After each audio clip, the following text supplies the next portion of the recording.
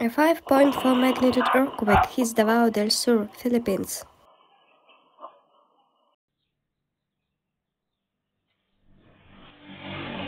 A 5.4 magnitude earthquake shook parts of Mindanao on Tuesday morning, with its epicenter located 2 kilometers south-southwest of Matanao, Davao del Sur. What should you do if you feel an earthquake? If you are indoors, it is better to leave it or take cover under a table. If you are outside, find an open space and stay there until the shaking stops.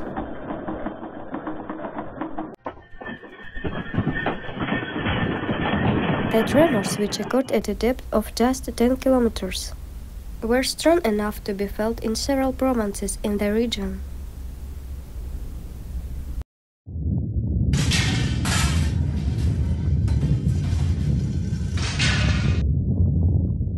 Although it was strongly felt in Matanao and Magsaysay, there were no immediate reports of significant damage or injuries.